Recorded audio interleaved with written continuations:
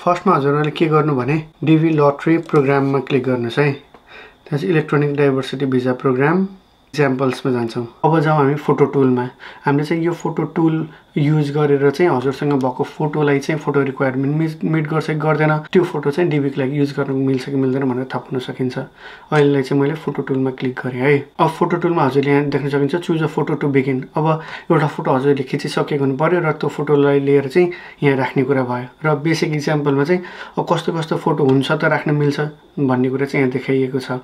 त्यस्तै size and position अब जस्तै यो फोटोमा हेर्नुहोस् त यो मान्छे सिधा उभिएको छ फर्स्टको मान्छे। सेकेन्डको अलि इन्क्लाइन परेको छ। थर्डकोमा चाहिँ एउटा सोल्जर चाहिँ काटिएको छ। फोर्थमा चाहिँ त्यो फोटो चाहिँ अलिक पछाडि बसेर खिचिएको जस्तो छ।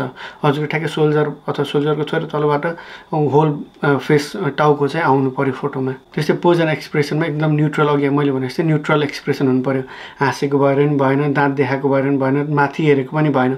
क्यामेरालाई फेस गर्ने र न्युट्रल एक्सप्रेसन हुनु पऱ्यो है।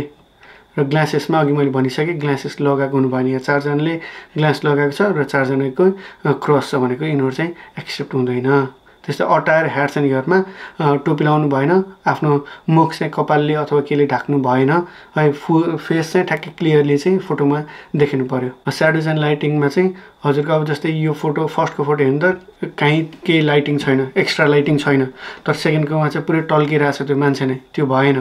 त्यहाँ थर्डकोमा स्याडो परेको छ त्यस्तो नि भएन।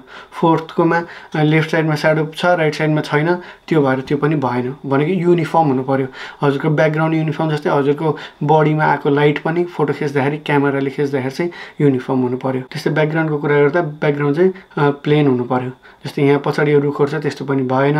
यो पछाडि थर्डकोमा प्लेन छ त्यो भयो। फोर्थमा यो म्यापहरू देखाएको रहेछ त्यो पनि भएन है। त्यस्तै अब रिजोल्युसन एन्ड क्वालिटीको कुरा गर्दा रिजोल्युसन चाहिँ हजुरको फोटोमा चाहिँ हजुरको फेस चाहिँ क्लियर हुनु पऱ्यो त्यो चाहिँ मेन कुरा भयो।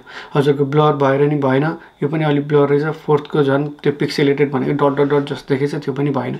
हजुरको सार्प क्लियर इमेज चाहिँ हुनु पऱ्यो र फेसिङ टुवर्ड्स द क्यामेरा है। त्यस्तै चिल्ड्रेनको केसमा चाहिँ क्यामेरालाई फेस गरेको हुनु पऱ्यो त्यो फोटोमा अरू कोही पनि मान्छे हुनु भएन र फेस चाहिँ क्लियरली देखिएको हुनु पऱ्यो है। फर्स्टकोमा त्यस्तो छ सेकेन्डकोमा खै के चपाएको छ त्यो भएर भएन। फोर्थकोमा पनि मुखमा के छ ए त्यो छ त्यो भएर भएन। थर्डकोमा चाहिँ अलिक इन्क्लाइन पऱ्यो यस्तो खुम्चे पऱ्यो जस्तो त्यो भएर भएन है हजुरको। फेस लाइन नेकदेखि माथि टाउकोसम्म चाहिँ क्लियर देखिनु पऱ्यो त्यस्तै फेस अब्स्ट्रक्सन भनेको हजुरको फेसमा चाहिँ अरू कुनै पनि कुरा अब्स्ट्रक्सन हुनु भएन भनेको। मेन कुरा भनेको हजुरको फोटोमा चाहिँ हजुरको यो फेस लाइन चाहिँ क्लियरली आउनु पऱ्यो कि। ल अब हाम्रो चाहिँ चुज अ फोटो गरौँ है। चुज अ फोटो गरौँ। त्यहाँपछि अब हजुरले खिचेको जस्तै मैले मेरो केसमा यो फोटो सेलेक्ट गरेँ अघि मैले खिचेको फोटो त्यसपछि यसले अब अटोमेटिक क्रप पनि गरिदिन्छ भनेको उसले आफै नै क्रप गरेर मिल्ने खाले रिक्वायरमेन्ट मिट हुने खाले छ कि छैन त्यो चाहिँ यसले फर्स्टमा हेरिदिन्छ। तर यसलाई हजुरले अब म्यानुअल्ली पनि गर्न सक्नुहुन्छ भनेको यो चाहिँ अटोमेटिक कम्प्युटरले नै गरिदियो। तर हजुरले आफूले गर्न चाहनुहुन्छ भने क्रप म्यानुअल्लीमा गएर यसले भने जस्तै यो तल देखाएको आँखा चाहिँ माथिको फोटोको आँखासँग म्याच गर्यो भने चाहिँ उसले आफै नै क्रप गरिदिन्छ है। अहिले क्लोज ट्युटोरियल गरौँ र यो तलको आँखा लगेर माथि आँखासँग म्याच गरिदिउँ यसरी चाहिँ हजुरले आँखा दुइटा लगाएर राखिदिनु भयो भने चाहिँ उसले नै सबै कुरा मिलाइदिन्छ। यसरी चाहिँ अब हजुरले यहाँ हेर्न सक्नुहुन्छ यहाँ चारवटा यो रातो लगाएको छ। भनेको यो भनेको चाहिँ यसले चेक गरेको यसले चाहिँ रिक्वायरमेन्ट मिट गर्छ है भनेर देखाएको है यो माथिको रातो चारवटा चाहिँ। अब यसरी चाहिँ हजुरले यो इमेज अब बनिसक्यो। अब यसलाई चाहिँ download image to your device भनेको आफ्नो डिभाइसमा डाउनलोड गर्नुहोस् र अघि हामीले फर्म फिलअप गरेको ठाउँमा लगेर फोटोलाई चाहिँ अपलोड गरिदिनुहोस्। र हजुरले चाहिँ आफ्नो यो फोटो रिक्वायरमेन्ट मिट भयो भने हजुरको रिजेक्ट हुने अथवा डिस्क्वालिफाई हुने चान्स चाहिँ एकदम गर्छ।